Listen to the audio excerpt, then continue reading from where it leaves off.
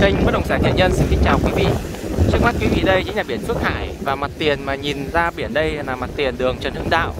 Thì ờ, trên mặt tiền đường Trần Hưng Đạo này chúng tôi đang có vài căn ờ, mặt biển đang chào bán với giá từ 3 tỷ 7 ờ, một căn là 65 mét vuông à, nó bị hẹp hậu cho quý vị nhé. Có một căn khác nhà lầu là 12 tỷ rưỡi và có một căn một cái mảnh đất là 10 tỷ. Với giá à, với diện tích 170 mét vuông còn căn 12 tỷ rưỡi với giá à, với diện tích là 140 mét vuông. Đó thì à, căn đó thì có nhà lầu nhà ở đẹp đẽ luôn còn kia là đất thôi. Thì sơ bộ quý vị à, biết ở đây tôi có ba bốn cái cái cái sản phẩm mặt biển này đang chào bán. Quý vị nào quan tâm thì cứ liên hệ với chúng tôi theo các số điện thoại bên dưới nhé.